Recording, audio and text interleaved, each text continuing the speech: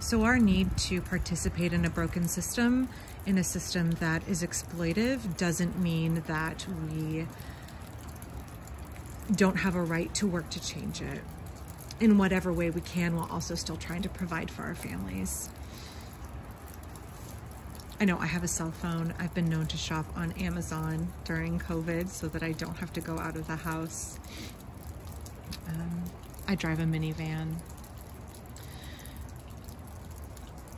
So I think when we talk about permaculture and folks don't want to hear commentary about it being political, I think it's really good to remember that when we are discussing, when we are investing in a new way of doing things, a new design that is sourced in people care and earth care instead of sourced out of or focused on profit,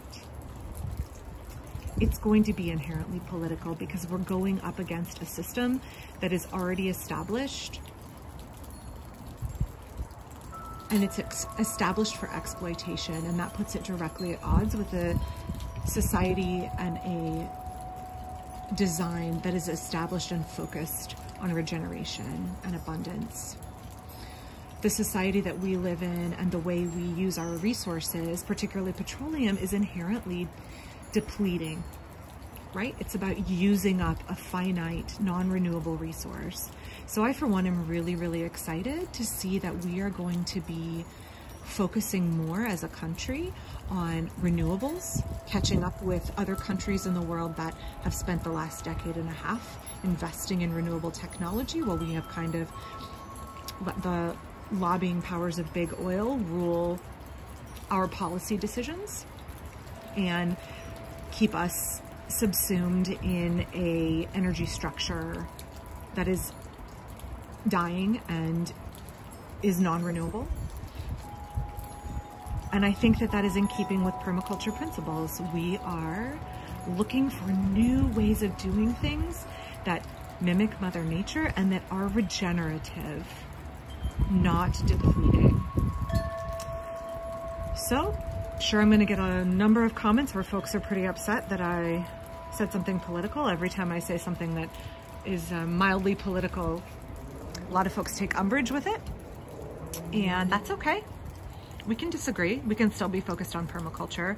We can still be focused on regenerative agriculture, gardening, duck keeping, chicken keeping, beekeeping, and disagree on politics. But I think if you are really committed to the three ethics of people care, earth care, and fair share, it's critical to think about what that means in terms of policy because we can work all we want as individuals, but we've really got to reorient our society to share those ethics and values because people are a resource. So if we all join together we can be so much stronger and so much more efficient in making a regenerative society.